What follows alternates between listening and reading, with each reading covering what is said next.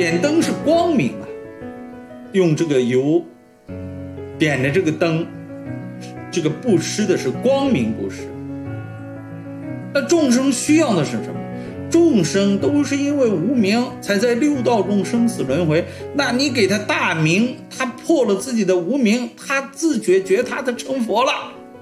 啊，这个功德多大啊！点灯功德在这个地方啊，你怎么还？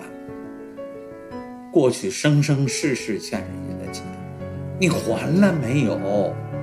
说老师，我本身就钱就不多，你看，不是啊，老师教你招儿，没？钱也有还债的，不是你一定是这一辈子还前几世的债，还这个过去生的债，一定要拿钱还的，不是这样的。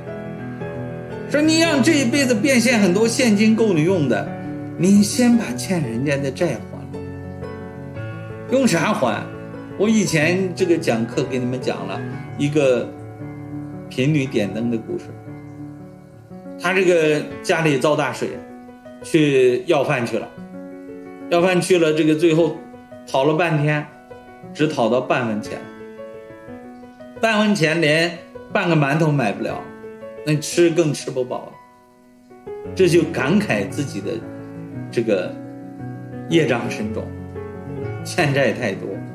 说最后就拿着这半文钱，到寺庙里去点灯，点油灯，这他全心全意，饿着肚子拿半文钱去点灯供佛。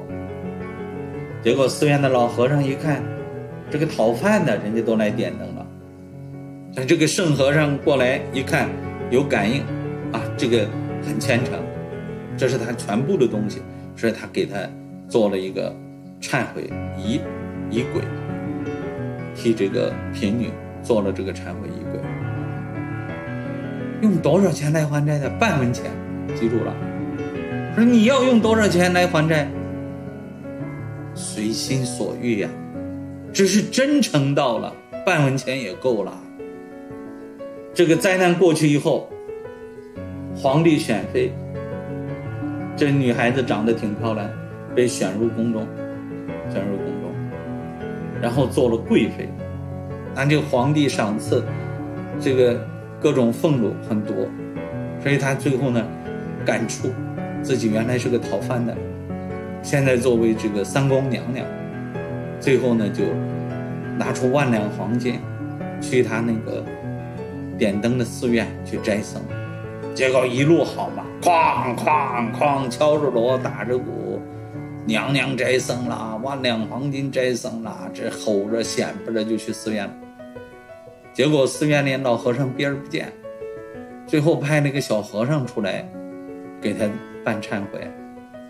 结果这个娘娘这就恼怒了，这个我之前是讨饭的，你当家和尚出来给我做忏悔，现在我是娘娘来了，你个老和尚不见我，你不找死吗？所以说就。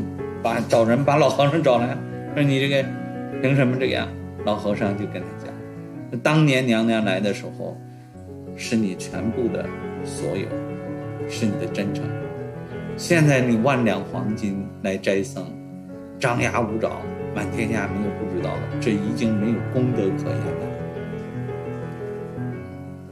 说你才知道你的富贵是功德之换来的。开窍了没？开窍了没？你为什么穷？你为什么财富不自由？开窍了没？知道答案了不？